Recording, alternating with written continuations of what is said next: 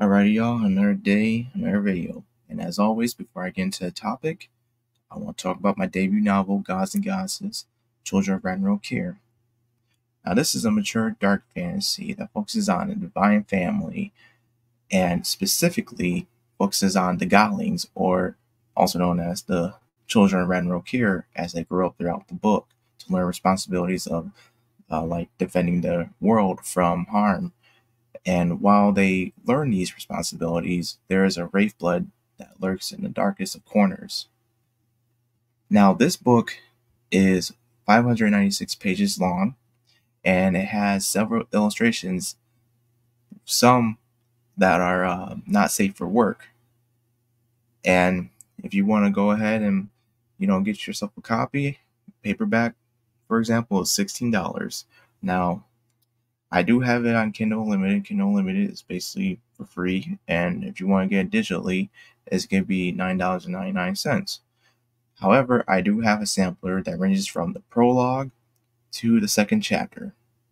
So, again, if you're feeling generous, um, go ahead and search search down where the description is. I would have the link there, and it'll take you right to it. And I give you my thanks in advance. Now, I also want to bring attention to my uh, comic that I'm making, and it's called Nightfall Eldritch, which is also an, a mature dark fantasy that focuses on two entities that have been warring with each other for centuries. It updates every week, uh, specifically on Sundays, and the art my artist is Nefarious Watcher great guy, very cool and very talented. And as y'all can see with these little previews I'm showing when I'm scrolling down my uh, Twitter or X, um, you see that you know the pages are indeed there. And recently, pages 10 and 11 have been released on this little thread that I've been uh, working on. So, you know, I will have link to to it in the description and doesn't cost anything. Just just know that it's a safer work version, and I'm not going to be showing anything too crazy there. Okay, so that's it for all that, and I just wanted to show you guys this uh, article I have. I had I had it in my uh, little record keeper of sorts, and uh, it looked interesting because it talks about not only Lord of the Rings, but also uh, John A. Douglas, which I've been a subscriber to for uh, I, I, I guess a year. It's been a, it's been a while. I can't really say when, but I've been I liked his content a lot, and so get into this article says uh, for my listeners, my people, the people who don't watch videos but just listen. Epic fantasy author John A. Douglas trashes the Lord of the Rings, the War of Rohirrim, origin for Hera. I, I think I pronounced that correctly. And I just want to say that I'm not the biggest Lord of the Rings um, fan. I like Lord of the Rings, but I, I, I'm I'm I'm a I'm a normie. Okay, I'm a normie with it. I only know I only watch the uh the live action films. so let's get into it. and I and I gotta say this before I really start reading. I don't know what's up with like everything trying to be anime nowadays, and I'm a little bit guilty of that, but that's because I actually grew up with that that type of stuff. Actually, I watched it before I knew even understood what was you know it it was uh, called anime, but um, it just this is just um this kind of gives me a little bit concerned because not everything needs to have like this type of anime style to it, but that's my opinion. See, epic fantasy author John A. Douglas trashed the origin of Hera that Warner Bros. is using in The Lord of the Rings, The War of the Rohirrim. Again, I hope I pronounced that correctly. A companion book for the film was released and provides an origin for Hera, an original character for the film who is also its main protagonist. The origin states at just nineteen summers, Hera is the youngest of Helm, Hammer, Helm Hammerhand's three children and the only girl. As a daughter of the noble line, she is a valuable pawn in the game of kingsmaking and of building alliances, and seems destined for life as the wife of a uh, Gondorian princeling whose children will know nothing of Rohan's ways. It continues, born under a harvest moon, her life was all too soon marked by tragedy when her mother died in childbirth. The princess was raised alongside her two brothers by warrior king and could ride before she could walk, becoming one of the fastest riders in the kingdom. As a young girl, she became friends with Wulf, the son of Lord Freca of the West March. The two often played at fighting, teasing, and laughing with each other. Hera is now, young, now a young woman and skilled with a sword. Wild, adventurous, and carefree, Hera knows her own mind and will not allow her life to be planned for her. Whatever the reason, she is more likely to be found wearing riding clothes, though when summoned to attend her father's councils in uh, Meduseld, she will be persuaded into a long, um, a long gown with ribbons to tie back her unruly long red hair. It concludes. Oh, this is pretty nice though. Wow, that's a nice um character sheet kind of. Wow, I like it.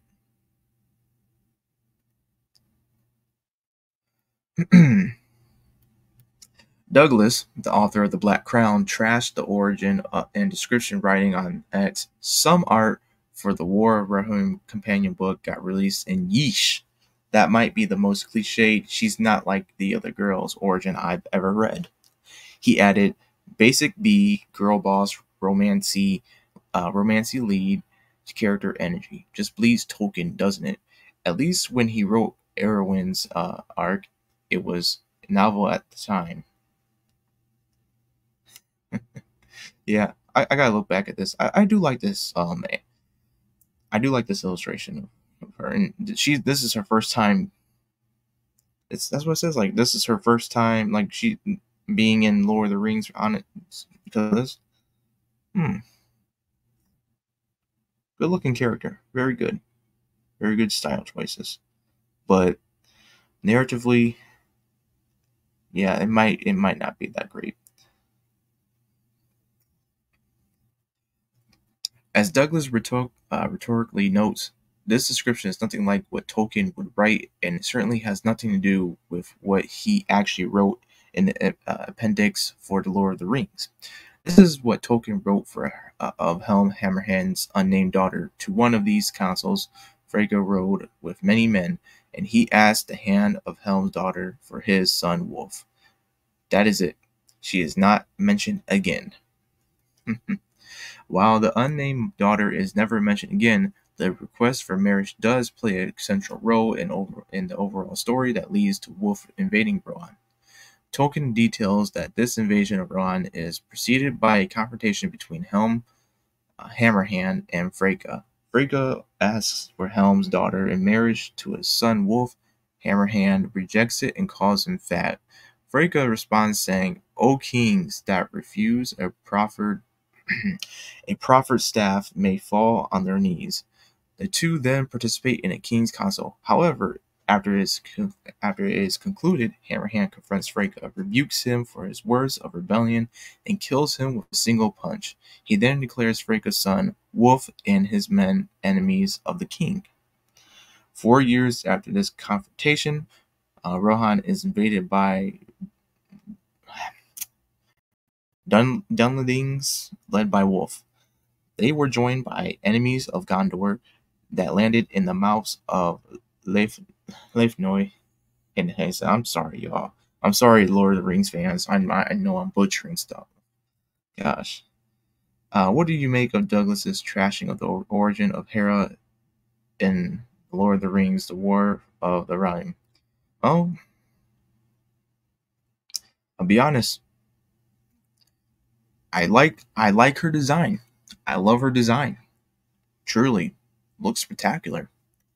But with what was mentioned in this article with the with the excerpt given to us about this um I'm sorry about this whole ordeal of uh, you know getting to know her and what setting setting up the premise.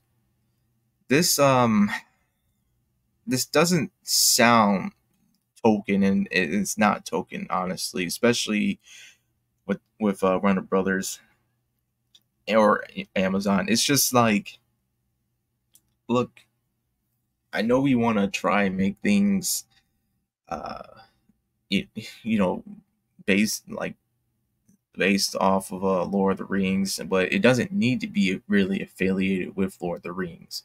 You know, it could you could say, hey, this was inspired by Lord of the Rings, but it doesn't need to be a part of the Lord of the Rings, and that's that's one of the major problems that we have with the Western entertainment of modern times because it, it's just like they're I, I I guess they're afraid to have things be by themselves and see how and see how you know if it would succeed or not.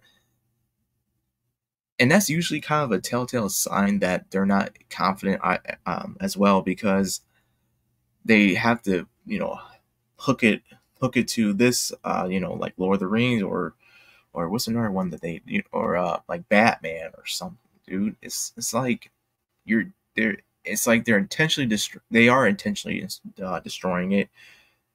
And at the same time it's it's like come on y'all just why can't why why can't we do things right?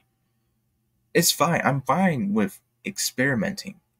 I truly am. I'm fine with experimenting but as long as it makes sense go ahead but if you're just doing this just you know as they always do. They're doing it just to just do it and and push a you know a, a, a character that could possibly be very interesting throughout the throughout generations, but is you know is the debut of this new character and this already this character is already being held back because of weird weird people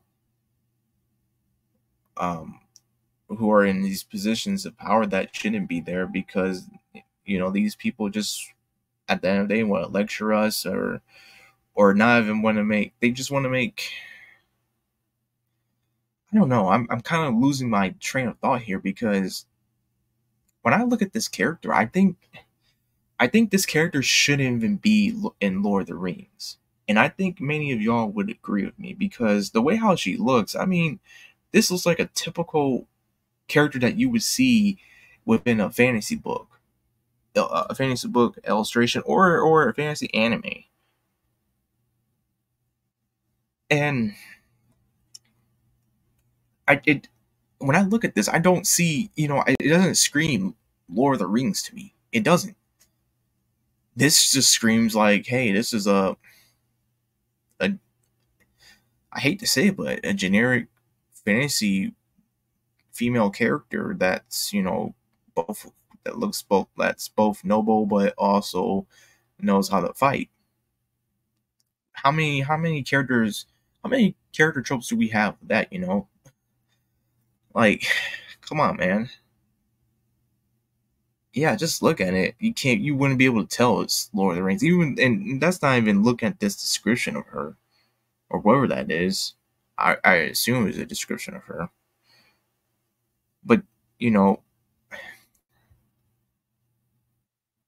I, I get. I mean, John. You know, John has a point. John has a point. And sadly, we've seen this pattern for nearly ten years. Maybe, maybe we're we're at ten years. But as far as I can remember, you know, this stuff started back in 2016. As far as I can remember, where it started getting out of hand and not being implemented um, in a smart fashion. But um, that's it for this video, y'all. I didn't want to drag it out too much.